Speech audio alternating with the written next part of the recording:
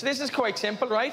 The mammalian dive reflex is triggered by submerging your face into water. It puts the body into oxygen-saving mode, reducing heart rate and directing blood flow to vital organs to maximize the time that can be spent underwater, right?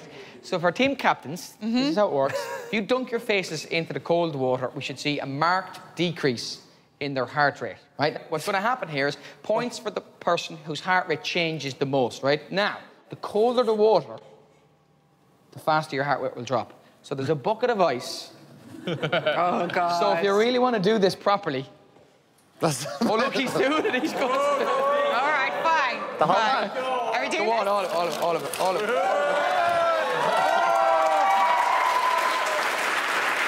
Oh, God.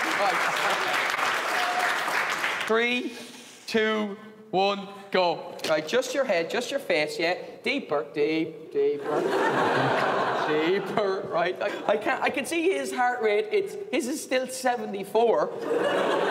Hers is 106, 102, 96, 90.